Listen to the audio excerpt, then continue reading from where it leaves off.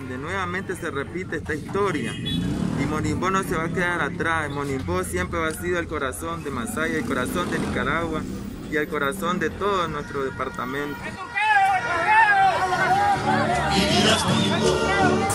llama pura del pueblo, oigo tu corazón, ataba al guerrillero, donde el indio cayó, floreció el granadillo, para hacer la marimba que tocan los sobres de liberación.